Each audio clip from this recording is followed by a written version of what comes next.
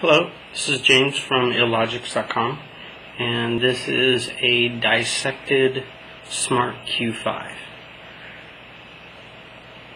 As you can see, it is uh, made up of, um, when it's all assembled, uh, all the components are rather snapped or soldered together.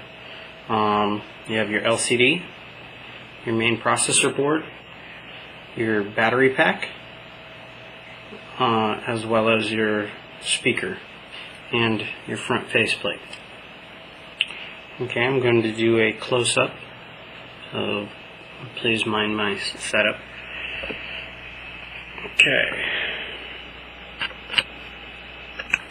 See if I can zoom in.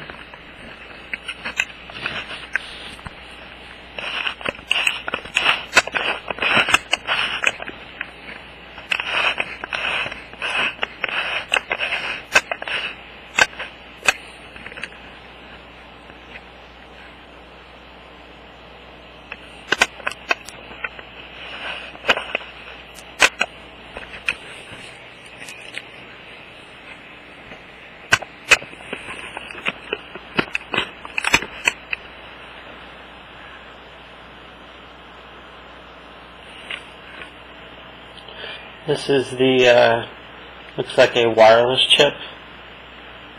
It's a uh, CommWise uh, chip. Seems to be wired in with the board. Let's see. This is a, uh, see if I can uh, rotate this around.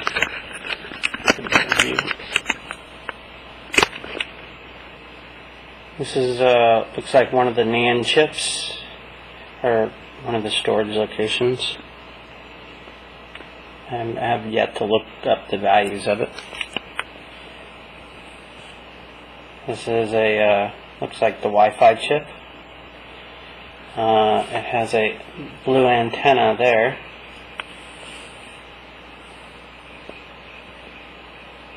Uh, there's a Atmel I see, in a uh, blank socket space. This is the uh, four wire connector for the LCD, SD card slot, power adapter, mini USB, four wire connector for that, that board.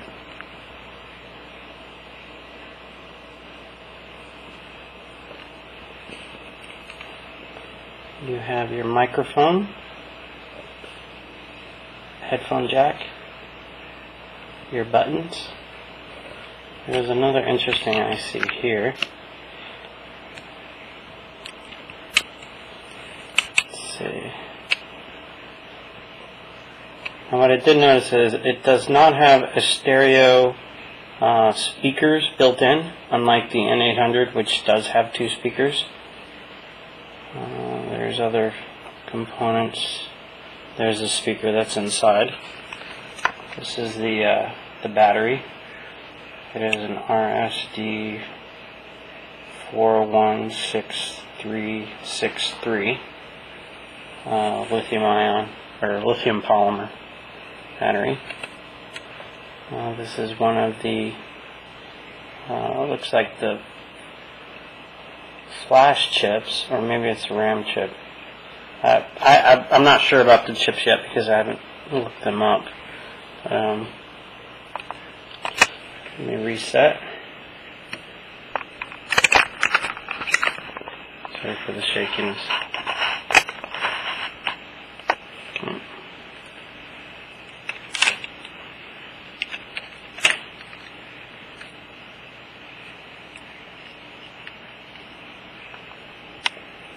Here's your uh, here's your Samsung ARM chip.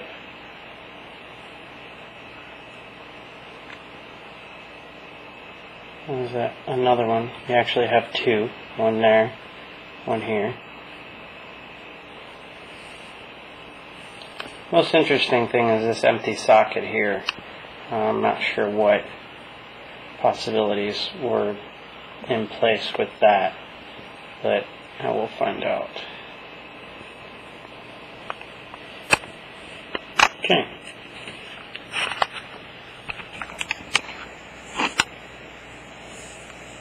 This is the uh, outer view. So you can see there, there's, I have yet to look it up, but I will determine what this is. And then that chip there, as well as um, these two chips here.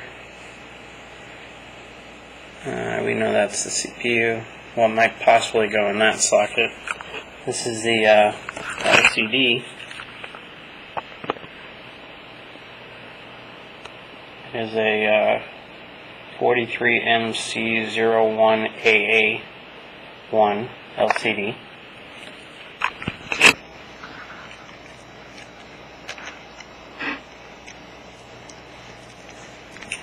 Now, one of the things I've noticed about this design is, unlike the uh, uh, Nokia, most of the components aren't shielded in any which way, shape, or form. Um, Nokia is very good about that, um, but apparently when they designed this, they they didn't really design it for shielding, um, which, as we know, will have an effect when you have multiple components uh, have possible interference with each other. But overall, uh, it's a very well laid out design. Um, I noticed that the uh, stylus goes in on this side. So, and given that the uh, stylus itself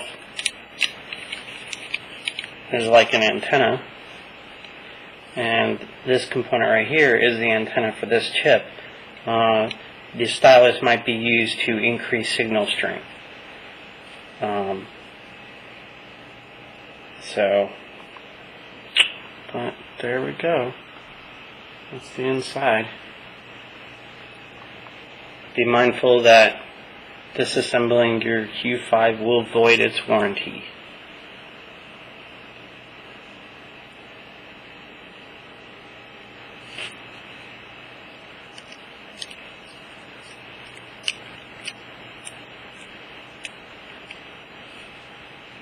Okay.